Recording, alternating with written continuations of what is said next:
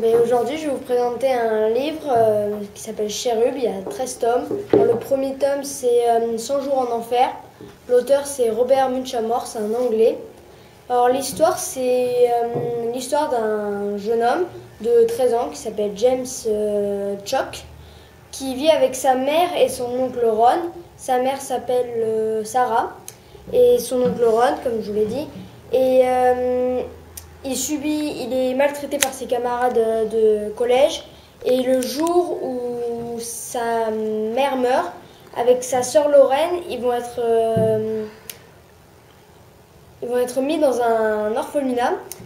Et euh, il va apprendre, euh, James va apprendre que son oncle Ron va reprendre, va avoir la garde de sa sœur Lorraine.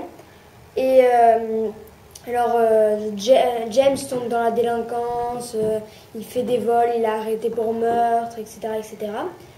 Et euh, plus tard, il hum, se fait recruter, il, il va dans son internat, il va se faire un ami qui s'appelle Cale. Et il ne sait pas encore qu'il fait partie d'une organisation secrète des renseignements britanniques qui s'appelle Cherub. Alors Cherub, Cherub c'est un département ultra secret des services des renseignements britanniques qui est composé de, euh, de jeunes femmes et de jeunes hommes âgés entre 10 et 17 ans. Et le but de cette agence, c'est de euh, les missions que ne peuvent pas remplir les adultes vont être exécutées par des enfants, par des adolescents. Alors il va être, euh, pris dans cette agence. Alors dans cette agence, il y a des lois.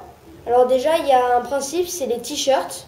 Alors euh, chaque, euh, chaque euh, personne, chaque agent a un t-shirt de couleur. Alors il y a, il y a la première couleur, c'est la couleur orange. C'est pour les invités, ceux qui ne sont pas encore agents. Et personne n'a le droit de leur parler. Donc James, quand il va arriver dans ce dans Cherub, il va, il va demander où il est, mais personne ne va lui répondre en lui disant je n'ai pas le droit de parler aux oranges. Alors après, il va tomber sur un homme qui s'appelle Max, c'est le directeur de cette organisation, qui va le préparer à un, entraînement que tout le monde appelle 100 jours en enfer. Il va devoir survivre à des épreuves euh, pendant 100 jours. Euh, euh, s'il n'arrive pas à survivre, enfin, s'il part ou s'il abandonne ou s'il meurt, il devra recommencer dans les 3 mois, à part s'il meurt bien sûr. Mais il y a, il est, euh, il y a comment il s'appelle? L'animateur qui va organiser ces opérations s'appelle Large et c'est un tyran. Il va les insulter, les maltraiter, les taper et ils vont lui mener euh, vont leur mener la vie euh, très dure pour qu'au bout de 100 jours, euh, avant 100 jours, ils abandonnent.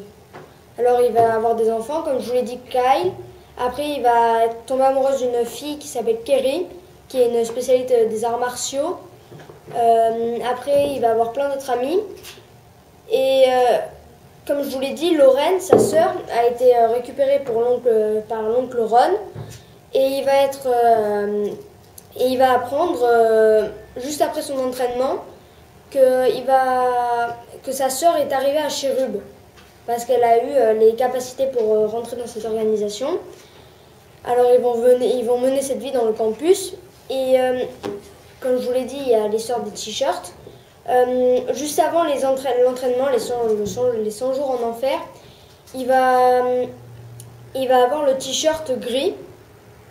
Puis après, il aura le t-shirt bleu. S'il a réussi l'entraînement, il aura le t-shirt bleu. Et après, il y aura un autre t-shirt, ce sera le t-shirt bleu marine. Alors ça, ça sera pour, euh, les agents qui ont fait une mission qui, sera, euh, qui sera exceptionnelle. Ils auront fait une performance exceptionnelle, donc ils auront ça. Et après, ils vont, à la fin de leur séjour, ils vont recevoir le t-shirt noir. C'est comme la ceinture noire au karaté à peu près. C'est euh, l'élite. Alors il va, il va avoir plein d'amis. Et alors, euh, sa première mission, il va devoir euh, détruire euh, un groupe euh, de terroristes qui s'appelle Sauver la Terre. Alors c'est des écologistes qui ont fait, euh, qui ont fait un attentat en Angleterre, à Londres, sur une assemblée de, euh, de grands dirigeants euh, d'organisations pétrolières. Donc il, doit les arrêter. Alors il va tomber amoureux d'une autre fille, alors il va lui arriver plein d'aventures. Tous les agents de Cherub doivent choisir un nouveau nom. et pour pas qu'ils se fassent repérer. Alors ils peuvent garder leur prénom mais pas leur nom de famille. Donc James va s'appeler James Adams au lieu de James Chock. alors après, je continue la mission. il va devoir aller en, à Miami euh, il va devoir se lier d'amitié avec le fils d'un des plus grands trafiquants de drogue euh, au monde. Et voilà. Après le troisième tome, il va devoir euh, s'infiltrer dans, dans un pénitencier bien gardé qui s'appelle qui est en Arizona. Alors il va devoir s'évader de cette prison pour trouver un trafiquant d'armes. Euh, après, le troisième, il va, le, euh, quatrième, pardon, il va devoir enquêter sur euh, un petit délinquant, mais de moyen, qui fait juste un peu de, trafic de drogue et, et, qui vend des voitures illégalement. Et, en fait, il va, il va se retrouver sur une affaire d'un meurtre d'un homme qui s'est suicidé, alors on pense qu'il s'est suicidé. après le cinquième tome, il va devoir intégrer une secte qui s'appelle les survivants euh, il va devoir arrêter cette secte, euh, détruire cette secte. Tome. Après, là, il va devoir euh, se lier d'amitié avec un milliardaire qui, après sa retraite, a donné tout son argent à des, à des groupes terroristes et à l'armée russe. Après le huitième tome, ça, alors il va devoir intégrer un gang dans la ville de Luton pour arrêter une guerre des gangs. Euh, la mission 9, il va devoir arrêter un... Alors il y a eu un crash dans l'océan Atlantique et un enfant de 13 ans a appelé pour dire que c'était son père euh, qui était à l'origine de l'attentat. Donc il va devoir résoudre cette affaire. Euh, le troisième, il va devoir... il y a une série de meurtres et tous les meurtres sont liés à un jeu, le poker. Voilà. Euh, et là, après, il y a trois tomes, euh, trois autres tomes, mais je les ai pas lus, donc je connais pas euh, le thème. Alors j'ai bien aimé ce livre déjà parce qu'il y a du suspense, de l'action, il y a un peu d'humour. Et on a l'impression que c'est vrai en fait. On ne sait pas si c'est vrai ou faux, on ne sait pas aussi bien. Il y a, ces organisations existent vraiment, mais voilà. Alors euh, ce livre, euh, je le conseillerais plutôt aux garçons, même si je ne l'interdis pas aux filles quand même. Mais euh, en fait, dans ce livre, je le conseille plutôt aux garçons.